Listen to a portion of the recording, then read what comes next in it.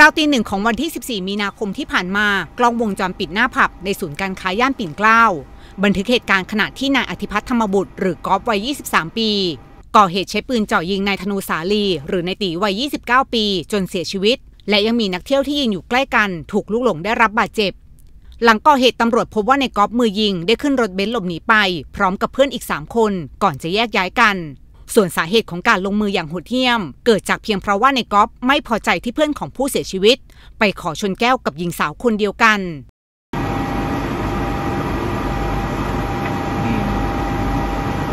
หนึ่งสัปดาห์เต็มหลังเกิดเหตุ ครอบครัวและเพื่อนๆของนายตี ตัดสินใจเขียนป้ายเรียกร้องขอความเป็นธรรม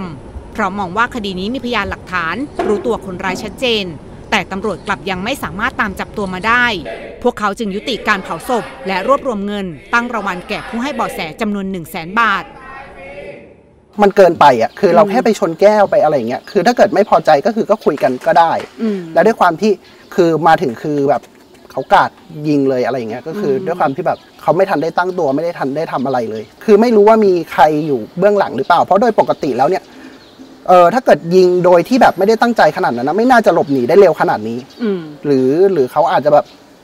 แต่เขาก็มีหลายคดีอะเนาะที่เขาเคยผ่านมาอะไรอย่างเงี้ยเพราะเรามองว่าถ้าเกิดเผาไปอะเขาอาจจะไปแบบมีห่วง อืมเรายังไงเราก็ต้องจับให้ได้ก่อนอย่างเพื่อนก็คุยกันแล้วว่าชีวิตต้องแลกด้วยชีวิต หลังเกิดเหตุสารอนุมัติออกหมายจับนายอธิพัฒน์ธรรมบุตรหรือกอล์ฟวัย 23 ปี ทั้งในข้อหาฆ่าผู้อื่นโดยเจตนา พยายามฆ่า และความผิดเกี่ยวกับอาวุธปืน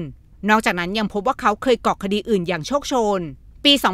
2565 ถูกออกหมายจับในคดีทำให้เสียทรัพย์ และพรบอาวุธปืน พื้นที่สนบางขุนเทียน ยังอยู่ระหว่างการหนีประกันตัว ปี 2566 ถูกออกหมายจับคดีค้ายาเสพติดในพื้นที่จังหวัดนครปฐม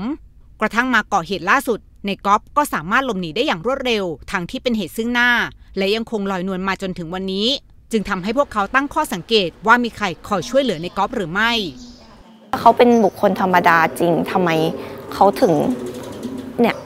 เจ็ดวันแปดวันแล้วแต่ยังจับตัวไม่ได้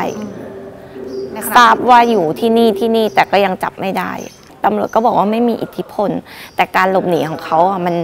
น่าสงสัยอะค่ะ เอารถไปจอดตรงนี้แล้วก็มีคนมารับปืนเป็นทอดทอดทอดทอดอย่างเงี้ยค่ะ เขาไม่ได้สกัดจับอะไรเลยเหรอเขาถึงหนีไปได้ง่าย ๆ อย่างเงี้ยถ้าเขาเป็นบุคคลธรรมดาจริง ไม่น่าจะไปได้ง่ายขนาดเนี้ยค่ะ น้องเป็นเสาหลักของครอบครัวค่ะ แล้วเราแบบสูญเสียเขาฆ่าน้อง เขาไม่ได้ฆ่าคนเดียวเขาฆ่าทั้งครอบครัวค่ะ เราก็เสียใจแต่เราก็ไม่สามารถที่จะทำอะไรได้ แล้วก็ได้แค่วอนตำรวจให้ช่วยจับคนร้ายให้ได้อะค่ะ พี่สาวของผู้เสียชีวิตเปิดใจทั้งน้ำตา บอกว่าการจากไปอย่างไม่คาดคิดของนายตี ไม่ใช่แค่เธอที่ต้องสูญเสียน้องชาย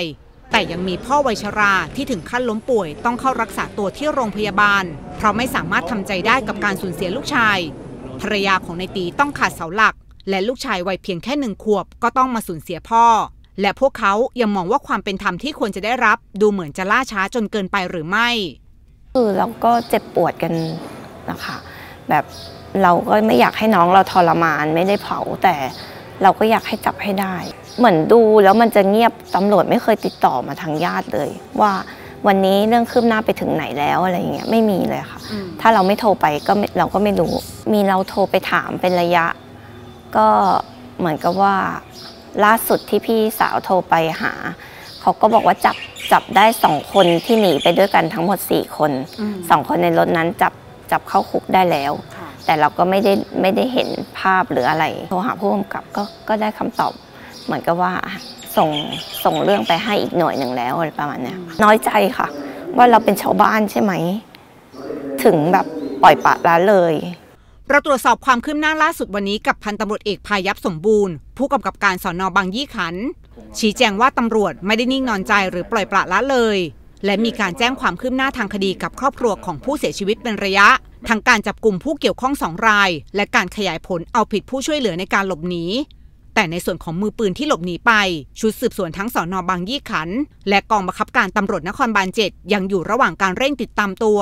โดยล่าสุดพบเบาะแสว่าคนร้ายหลบหนีไปทางภาคอีสาน พิพัฒน์ปิ่นฮิรันถ่ายภาพ ธัญรัตน์ถาม้อยรายงาน